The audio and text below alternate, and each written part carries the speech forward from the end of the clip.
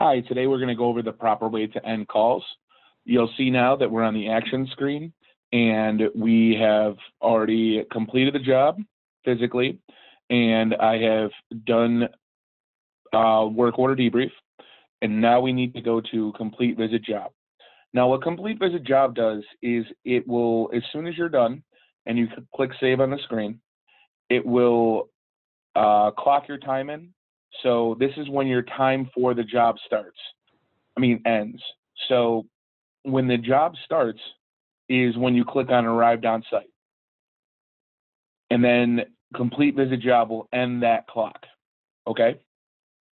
So we're going to click on complete visit job because we're done because we want to get a end time. So you're going to see order status. We're going to go to work complete. Now, if you are coming back for the call or if you did a parts order, it will automatically have requires revisit if you did a parts order. For this sake, we're going to say that it's work complete. Um, the order status in this section should either be work complete or requires revisit. If you select something else, it will tell you uh, that you can't do that. The reason why we have these other options in here is because those are ServiceMax only options and we're not able to take them out. So just ignore them and only use work complete or requires revisit. So again, the job is complete. We don't have a revisit reason because we are not requiring uh, revisit. If we were requiring revisit, then we could put in a reason like, you know, parts required, different technician, additional time required. Most of the time, you're just going to be using parts required in the revisit reason. So we'll go back to work complete. And now you're going to need a completion code. We'll use the completion code ready to bill because we're ready to build this. And now we're going to hit save. Now remember, as soon as we hit save here, this is going to stop the clock. If you think you have something else to do, I would go up to the upper left-hand corner and click on cancel and do not save this. Once you save this, the only other thing you can do is generate the service report. So please make sure any parts, any um, work performed, uh, creating a parts order, all those things need to be done before you click the save button because this is the end. Okay, it is not when they get the signature. That's on the next screen I'm going to show you. This right here, when I click save, this is the end of the work order. That's we now have it. Now we have an end time, and as soon as this blue bar fills up, the end time will be in here, and it will send that data to our server, and everybody will see the end time instantly. So wait for that to fill up. Again, definitely wait for this to fill up. You got to make sure this is a integral part of the process that um, definitely needs to be saved and wait for the screen to refresh afterwards.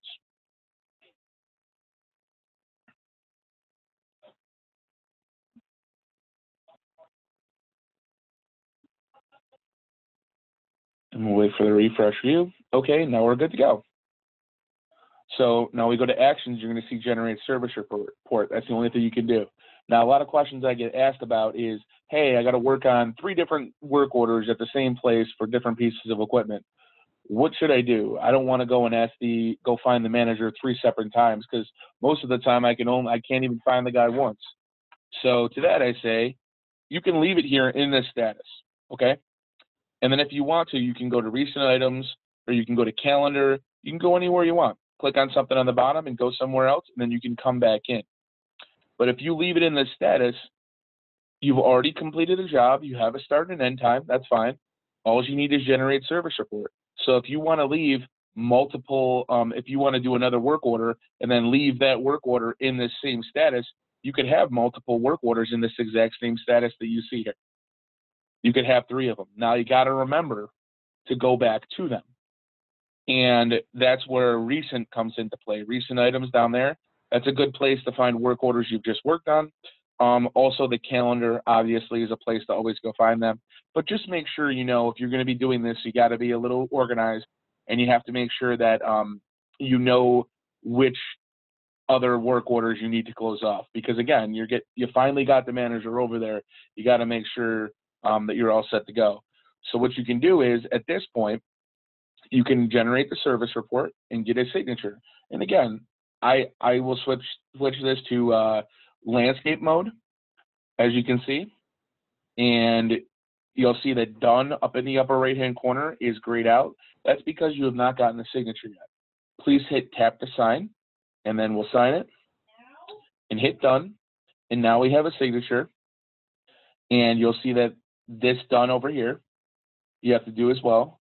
So as soon as I click this, says the smart document has been to the server. This will be available in the attached attachment section when it is synchronized. So now we're going to go back to uh, portrait view and wait for the work order to finish. And now when this bar fills up, now we're going, it's going to attach the generated service report. And we're also going to have that start and end time, which the end time was generated from the complete visit job section, and the start time obviously was uh, completed by the arrive time or arrival action, whatever we want to look at. So now we look at actions, everything's grayed out. That's perfect because that's the way it's supposed to be. And then we can go to attach documents, and you can see this document in here. This is what you just created.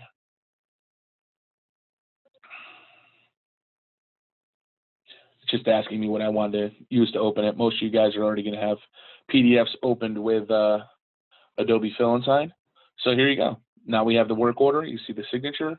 Everything's completed. And uh, that's it. So that is how you complete or finish a call.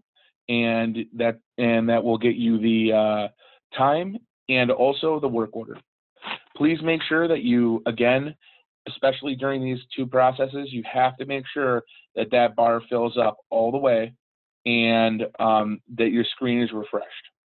Because if you don't, then you're going to have, then you will not send all the data to our server and you'll be missing the attached document. And if you're missing the attached document, that's definitely not a good thing. So, um, yeah, just make sure that you wait for that bar to fill up. And you'll and you'll know once it's done filling up and it's refreshed, you'll be able to see the actions and you'll see everything grayed out. And that's when you know you did it correctly. So thank you very much and drive safe.